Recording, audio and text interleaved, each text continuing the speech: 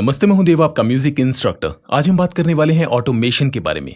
Automation बहुत important tool है और मॉडर्न म्यूज़िक प्रोडक्शन बिना ऑटोमेशन के एग्जिस्ट नहीं कर सकती। सो बहुत इंपॉर्टेंट है लेट्स जंप इनटू इट मेरे सामने यहाँ पर एक ऑडियो सैंपल है जो मेरे ही सैंपल पैक में से लिया गया है Dev next level guitar sample pack अगर आप चाहें तो मेरी वेबसाइट पर जाके चेक कर सकते हैं। मैं चाहता हूँ कि इसके वॉल्यूम को या इसकी पैनिंग हो गई जो लेफ़्ट राइट हम मूव कर दे हैं, या किसी भी और इफ़ेक्ट को मैं ऑटोमेट करना चाहता हूँ। ऑटोमेशन क्या चीज़ है? बहुत बेसिक मैं आपको जल्दी से समझाता हूँ। आई बटन पे क्लिक किया। चलिए, ये मेरा वॉल्यूम है।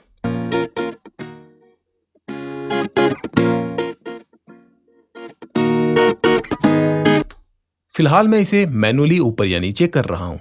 पर मैं चाहता हूँ कि ये अपने आप होता रहे और मैं दूसरे काम करता रहूँ, मगर इसके ऊपर मेरा ध्यान ना हो, इसके बावजूद ये अपने आप ऑटोमेट होता रहे। तो मुझे क्या करना है?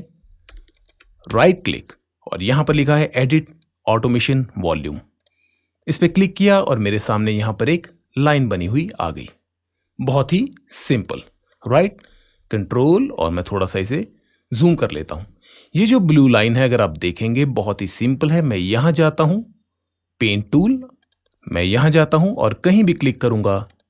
ये देखिए, एक कंट्रोल पॉइंट बन गया। मैंने दूसरा कंट्रोल पॉइंट कहीं भी बनाना चाहूँ, चलिए यहाँ बनाता हूँ।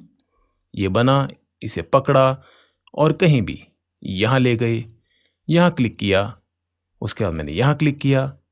जहाँ जहाँ मैं क्लिक करता जाऊँगा, ये अपने आप एक ग्राफ बनता जाएगा। और ये ग्राफ क्या चीज़ कर रहा है? ये मेरे वॉल्यूम का ग्राफ है। अगर मैं इसे पीछे जाके प्ले करूँगा तो आप देखेंगे जैसे जैसे मेरा ग्राफ चलता है।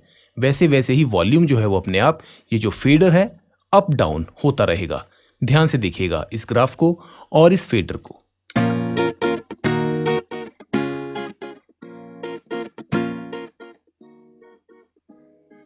Nice nice. कितना सिंपल कितना ही इजी तो जैसा ये है, इस तरह से मैं बहुत सारे इफेक्ट्स के ऊपर फॉर एग्जांपल यहाँ पे इंसर्ट पे क्लिक करता हूँ और यहाँ से मैं कोई भी एक इफ़ेक्ट ले लेता हूँ। इन इफेक्ट्स के बारे में भी हम बहुत जल्दी पढ़ने वाले हैं। यहाँ से मैंने एक कंप्रेसर ले लिया। ठीक है। नाइस बहुत बढ़िया। ये है मेरी रेशो मैंने राइट क्लिक किया एडिट ऑटोमेशन रेशो और यहाँ पर ये येलो कलर की जो ऑटोमेशन है, वो इसके ऊपर आ गई। और हाईलाइट किस तरह से होगी, सारे नॉब्स के ऊपर देखेंगे। सिर्फ़ इस नॉब के ऊपर ये डॉट नज़र आ रहा है।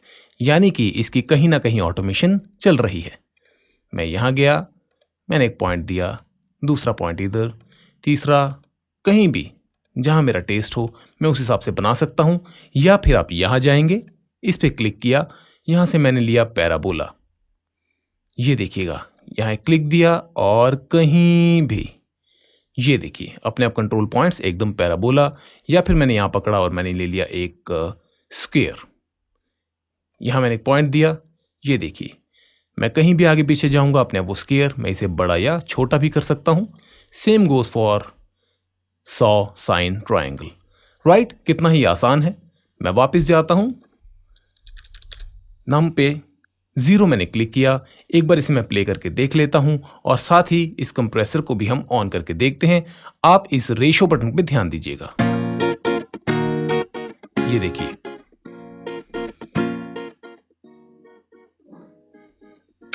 आप देख पा रहे हैं जैसे जैसे मेरा ग्राफ चल रहा है वैसे वैसे ये नॉब अपने आप ऑटोमेट हो रही है। नाइस चलिए यहाँ से मैं कोई एक इंस्ट्रूमेंट ले लेता हूँ। अब चलिए यहाँ पर मैंने एक मिडी की, बहुत ही बेसिक ठीक है, एक मेलोडी बनाई, यहाँ पे क्लिक किया और ये सिंथेसाइजर मैंने यूज़ किया। इसका जो भी प्रीसेट यहाँ से मैंने कोई एक सिलेक्ट कर लिया।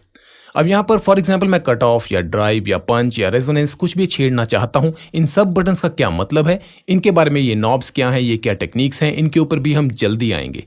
तो मैं किसी को भी, किसी भी नॉब को या किसी भी फेडर को ऑटोमेट करना चाहूँ तो राइट क्लिक करूँगा और ऑब्वियसली एडिट ऑटोमेशन लेकिन यहाँ पर मैं आपको एक नई चीज़ बताने वाला हूँ, बहुत ही इंपॉर्टेंट आप अपने कीबोर्ड पे प्रेस करेंगे ऑल्ट और ए आपने प्रेस करके रखा हुआ है ऑल्ट ए और जहाँ जहाँ मैं क्लिक करता जाऊँ, ये देखिए ड्राइव वहाँ पर ये एक डॉट आ गया पंच एक डॉट आ गया। चलिए इस पर भी कर देते हैं रेजोनेंस तो चारों नॉब्स के ऊपर, आप चाहें तो कहीं और भी इनमें से जहाँ जहाँ क्लिक करना चाहें, वो सिलेक्ट होते जाएँगे।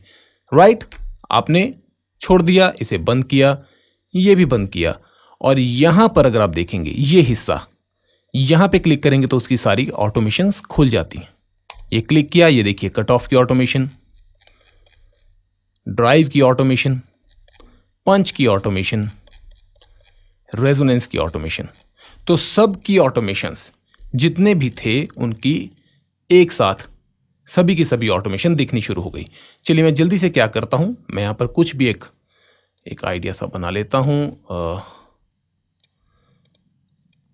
मैं बिना सुने ही कर रहा हूँ, मैं बस आपको एक ओवरऑल व्यू देना चाहता हूँ कि ऑटोमेशन से हम क्या क्या चीज़ें कर सकते हैं और ये क्यों इतनी ज़्यादा इंपॉर्टेंट है। आने वाले लेक्चर्स में हम देखेंगे कि ऑटोमेशन को हम कहाँ कहाँ यूज़ करेंगे। बहुत ज़्यादा टेक्निक्स के अंदर ये काम आने वाला है।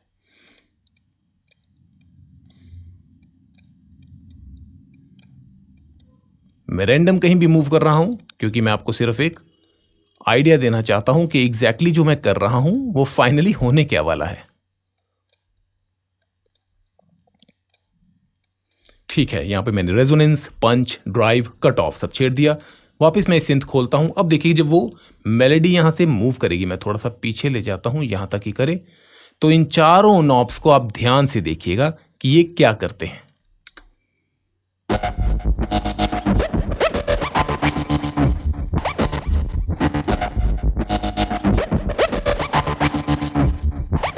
वो अपने आप मूव कर रहे हैं।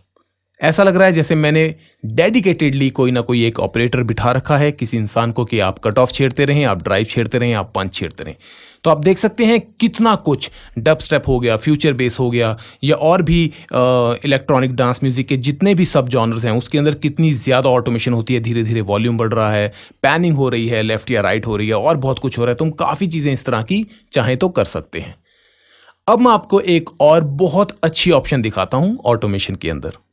मैंने क्या किया? मैंने यहाँ पर सिलेक्ट किया और यहाँ से मैं गया वॉल्यूम ठीक है? मैंने एक बार इस वॉल्यूम पे क्लिक कर दिया। कंट्रोल अगर ये ऊपर नीचे मूव हो रहा है कंट्रोल प्रेस करके क्लिक करूँगा तो वो ज़ीरो ज़ीरो हो जाएगा। अब मैंने ये किया तो मैं यहाँ जाता हूँ टॉप लेफ़्ट पे जहाँ लिखा है वॉल्यूम उसको याद है कि मैंने वॉल्यूम पे क्लिक किया था लास्ट और यहाँ पर देखिए एक छोटा सा ए इसके ऊपर आप लेके जाएँगे तो ये हाईलाइट हो जाता है। इसमें मैंने क्लिक कर दिया। जैसे ही मैंने इस पर क्लिक किया, आप देख सकते हैं कि यहाँ पर जो है मेरी वॉल्यूम की ऑटोमेशन जो है वो आ गई है। राइट मैं मिक्स पे जाता हूँ और आप देख सकेंगे कि यहाँ भी मेरे पास जो है वो आ चुकी है। मैं यहाँ गया, यहाँ लिखा है ऑटो ऑफ़, मैंने इस पर क्लिक किया और यहाँ पर आपको ऑटो ऑफ़ मीन्स ऑटोमेशन, यहाँ पर बहुत सारे यहाँ पर ऑप्शंस हैं और इसमें से मैं एक ले लेता हूँ टच। यानी कि मैं टच वाली ऑप्शन इस्तेमाल करने वाला हूँ ऑटोमेशन के दौरान। और देखिएगा अब क्या चीज़ होगी। ये वॉल्यूम है राइट मैंने इसे थोड़ा पीछे ले गया। मैं प्ले करूँगा और चलिए इस वॉल्यूम के साथ हम खेलेंगे।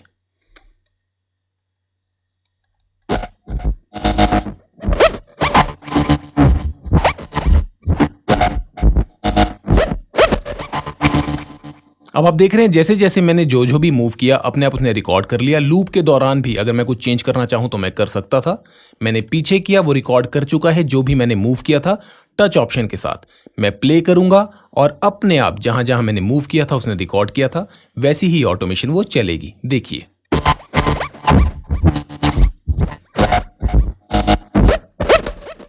कितनी अच्छी ऑप्शन तो ऑटोमेशन बहुत ज़्यादा इंपॉर्टेंट चीज़ है। आप किसी भी चलते गाने के अंदर कोई क्रिसेंडो क्रिएट करना चाहते हैं, कुछ ड्रॉप देना चाहते हैं धीरे धीरे उसका वॉल्यूम बढ़े, या कोई और इफ़ेक्ट हो, कोई फ़िल्टर हो अप या डाउन हो, या जो भी मैं वर्ड्स यूज़ कर रहा हूँ फ़िल्टर या कुछ, आने वाले लेक्चर्स में हम जल्दी इनके बारे में बात करेंगे। फ़िलहाल हमने कवर की है ऑटोमेशन मिलते हैं अगले लेक्चर में, तब तक के लिए Dev next level signing out नमस्ते।